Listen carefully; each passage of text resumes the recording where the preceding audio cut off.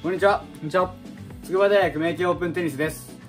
今日の第2回茗渓マガジンでは、こちらのスマッシュ1月号と、テニスマガジン1月号を参考にして紹介させていただきます。内容としては、日本ランキングや世界ランキング、そして国際大会情報やテニス界の気になる情報についてお伝えさせていただきます。よろしくお願いします。お願いします。それでは、まず世界ランキングについて見ていきましょう。世界ランキングは先月のメリケンマガジンでもご紹介させていただいたのですが今回のランキングについて変動はどうなっていますか？そうですね。やっぱ今年はあの新型コロナウイルスの影響で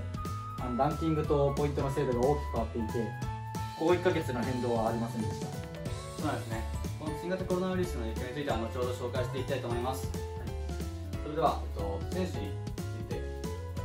きたいのですがどの選手がご注目でしょうか？そうですねやっぱりジョコビッチは不動の1位。今年でもジョコビッチ選手はあの四大大会1回も優勝できなかったんですけどやっぱりそのマスターズとか ATP250、500でずっとこうちょこちょこ優勝とにかく負けないですよね、ジョコビッチ選手は。でやっぱ2位のナダル選手は全仏でもクレーキング、これは本当にクレーではもうナダルはもう負けない、まあ、あのシュワルツマン選手にマスターズは負けてしまったんですけど、ぱりそのナダル選手もこう4大大会、都大会優勝できる、絶対優勝できるっていうのはやっぱり強いですね。で、3位のティーム選手、初のグランドスラム優勝、ね、あのはい、全米で優勝。ジョコビッチ選手のハプニングがあって、ちょっとあのトップビッグ4がいなかった状況でのやっぱ優勝で若手で注目ですよね。そしてメドベージュ選手、このメドベージュ選手も手足がとにかく長いんですよ。サーブも良くて守備もできて攻めもできて自分すごいこの選手これから先上トップに行けると思うんですけど、はい、この5位のフェデラー選手。いやこのフェデラー選手は今年はやっぱ大会にあので見かけなかったんですけど来年からやっぱもっとトップ3にもう1回入ってほしいですぜひそうですね、えっと、1から5位の森谷さんがいます。先ほど紹介していただいた選手は、まあ、よく昔から活躍されてる選手なんですけども6位から10位の選手は特に若手だと思うんですよね。で7年8位のルベレフ選手、ルブルス選手は後ほど紹介させていただくんですけど、特に9位のシュワルツマン選手は、僕たち多分身長が変わらないんですよね。はい、その選手が世界で活躍しているのを見ると、自分たちもできるんじゃないかといつも思ってます。それでは続いて日本ランキングについて見ていきましょう。そうですね、やはり錦織選手、吉岡選手をはじめ有名な選手が名を連ねていますよね。はいそうですね。やっぱりここであのこの乗ってる選手たちはあの世界を経験しててそれがゆえのランキングだと思いますね。で清水瑛太選手はあの小柄なもののすごいサウスポーですごいこう相手をこう振り回して守備もすごい優れている選手ですね。やはり小柄な選手はやはり注目が出てますね、はい、はい、続いては国際大会情報に移っていきたいと思いますまずサンクトペテルブルクオープン。エルステバンクオープンではルブレフ選手が優勝しました、はい、その次にケルンで行われた室内選手権ではズベレフ選手が優勝しました。えそうですね、こちらのルブレフ選手とズベレフ選手先ほどの世界ランキングでも登場しましたがどのような選手でしょうか？はいあのルブレフ選手はとにかくあの自分練習動画とかを見てるんですけどとにかくスイングスピードが速くて常にファイト続ける選手であの全このこちらのビッグ4に全然入りうる存在です。ズベレス選手はあの長身長から繰り出されるサーブとバックハンドがとても強烈であとなんといっても彼女が可愛い。あすいません。はいということでこちらの若手選手たちが活躍する中注目の若手選手ということでロレンソン・ムセッティ選手注目ですよね。はい。あのこのムセッ選手はクレーコットで錦織選手やワリンカ選手を撃破してあのとても注目今注目されている選手であのこれから活躍してほしいと思ってます。続いてはテニス雑誌「スマッシュ」とテニスマガジンより気になった情報をお伝えしていきたいと思います。レジェンド選手ビヨン・ボルグ選手。ビヨン・ボルグ選手は当時活躍していた情熱的であるマッケンロー選手と対照的に沈着冷静なプレーで会場を沸かしていましたがどのような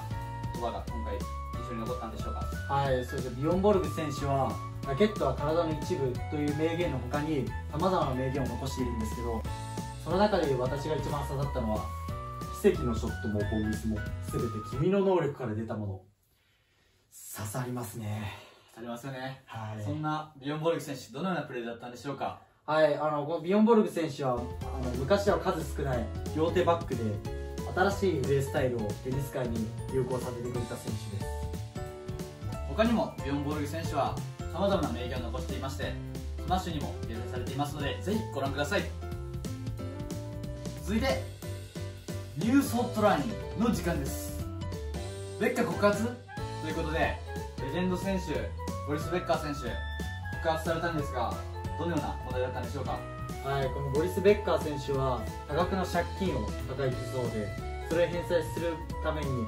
あのウィンブルドンの優勝杯を2つ売却する予定だったんですがそれ引き渡さなかったことで告発されました。そうなんですね。どのような借金をしたのか気になりますが、レジェンド選手はやはり基本とする選手なのでちゃんと来てほしいところでもありますよね、はい。続いて嬉しいニュースです。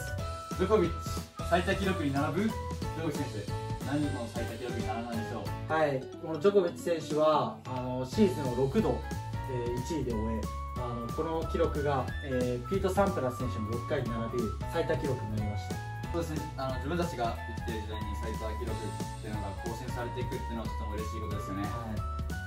続いてコロナウイルスの影響のニュースです。ハレプコロナ陽性ということでハレプ選手コロナの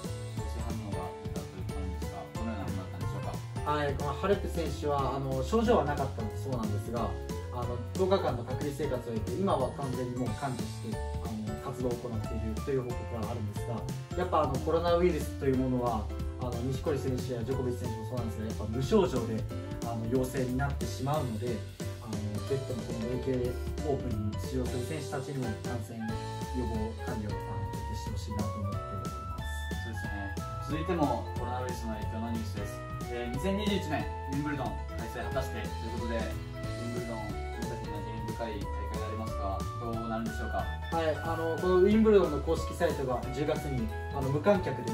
あの開催する意向を示しました、えーまあ今年やっぱこのウィンブルドンは四大大会の唯一中止になってしまった大会なのでぜひとも開催してほしいですよね。そしてウィンブルドンもそうですが僕たちが運営していく筑波大学の AK オープンテニスも1月末に運営ができるかどうか判断するんですがそれまでに自分たちが最大限できることというのを少しずつ乗り越えて達成していきたいなと思っています。これからも応援よろしくお願いします。お願いします。これで第2回 AK マガジン終わりたいと思います。ありがとうございました。ありがとうございました